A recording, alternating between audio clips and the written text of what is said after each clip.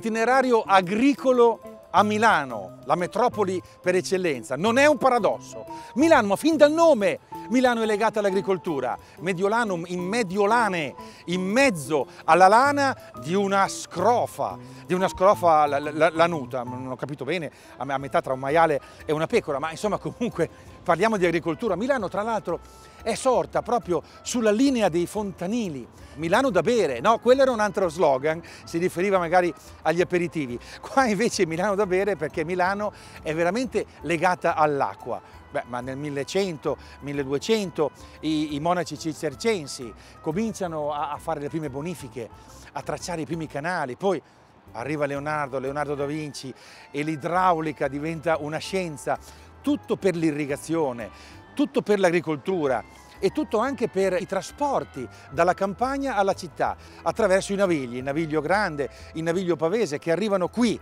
alla Darsena, questo è l'antico porto commerciale e ancora adesso è il centro, diciamo così, di analisi legate al territorio, all'agricoltura, al futuro, all'ecologia, guarda là, guarda quella cosa strana.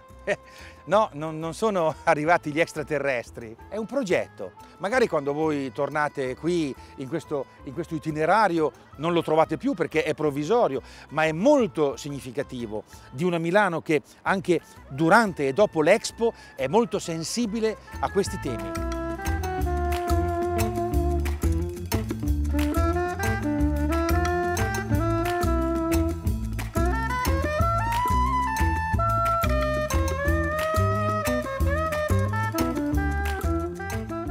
L'hanno chiamata Jellyfish Barge. Jellyfish sarebbe medusa, ma non sta sott'acqua come le meduse, sta sopra acqua, perché qua sotto ci sono dei bidoni di plastica riciclati che tengono a galla una piattaforma ottagonale, importante che sia ottagonale perché questa struttura è assolutamente modulare, un domani se ne possono mettere assieme tante, uno attaccato all'altra e la struttura è fatto di legno e, questo non è proprio vetro, questo è un polimero trasparente che fa passare, che fa passare la luce.